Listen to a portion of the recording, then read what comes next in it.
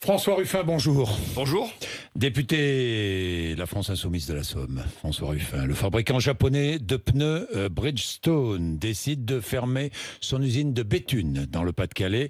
La moins rentable d'Europe, dit la direction du groupe. 863 emplois supprimés. Que dit le gouvernement? Une trahison de la confiance de l'État et de la région. Que dit le président de la région?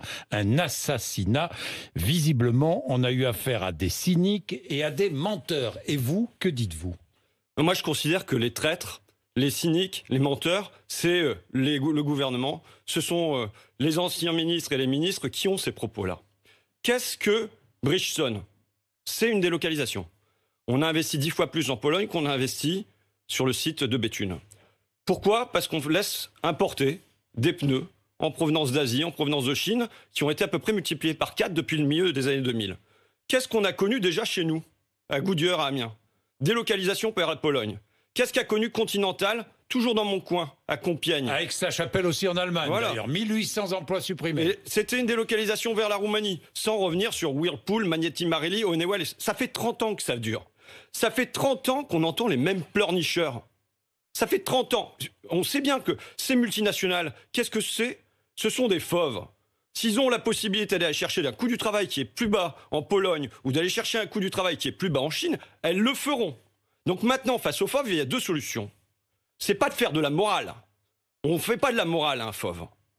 Par contre, on lui met une cage, c'est-à-dire on nous protège. Ces politiques qui viennent jouer les pleurnicheurs, là, comme je les entends toujours jouer les pleurnicheurs. Vous savez, moi, ça fait, ça fait 10 ans que j'ai écrit un bouquin qui s'appelle Leur Grande Trouille, journal intime de mes pulsions protectionnistes. Il n'y en a pas un qui a commencé à mettre en œuvre une solution protectionniste. Il n'y en a pas un.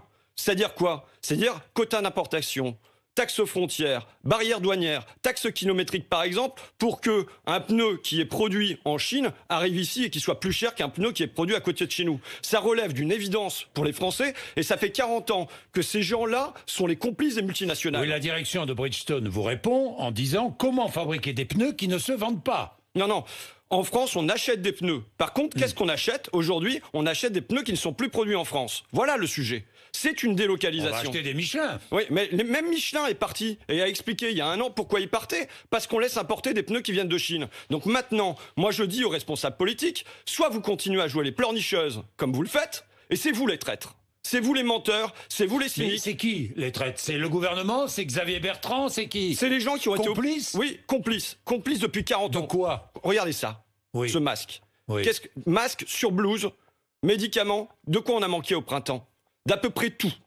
Dans mon coin, la Picardie, qui était un grand coin textile, comme le vôtre d'ailleurs. Hmm. Grand coin textile, on n'est plus foutu de fabriquer ça. C'est pas le fait du hasard. C'est parce que nos dirigeants politiques, depuis 40 ans, ont été les complices de suite multinationales. Sur les masques, c'est quoi? Ce sont les accords multifibres qui ont fait qu'on a détruit, attendez monsieur Bourdin, qu'on a détruit l'industrie textile. Qu'est-ce qui se passe sur les pneus? C'est qu'on a ouvert, avec l'Organisation mondiale du commerce, on a ouvert l'industrie à tout vent. Qu'est-ce qui se passe maintenant sur l'agriculture, puisqu'on continue le même logique? Mercosur, CETA, accord avec le Mexique, on produit une délocalisation de notre économie. Et ça, ça c'est tragique pour les salariés, évidemment. C'est tragique pour nos impôts, puisqu'on laisse partir, euh, euh, par exemple en Pologne, c'est vers une zone franche que ça part. Mais c'est tragique aussi pour l'environnement. Pourquoi? Parce que c'est des transports tous azimuts dans la planète et qui polluent. Donc là, maintenant, euh, c'est Nicolas Hulot qui disait, la cause de tous nos maux écologiques, ce sont les accords de libre-échange. Donc soit maintenant, Xavier Bertrand, Gabriel Attal et tout ça, ils cessent de dérouler le tapis rouge multinational et de s'en faire le complice. Et à ce moment-là, il y a une solution, c'est mettre en œuvre des solutions protectionnistes. C'est-à-dire qu'on ne laisse pas partir les lave-linges. Comment ça se fait? Regardez, je suis dans un coin où il y avait une usine de lave-linge. La petite Suisse, vous imaginez comme la petite Suisse, ils ont deux usines de lave-linge. La grande France, elle n'a plus aucune usine de lave-linge. Pourquoi? Parce qu'on a des politiques qui sont complices, complices, complices de, cette désertification industrielle.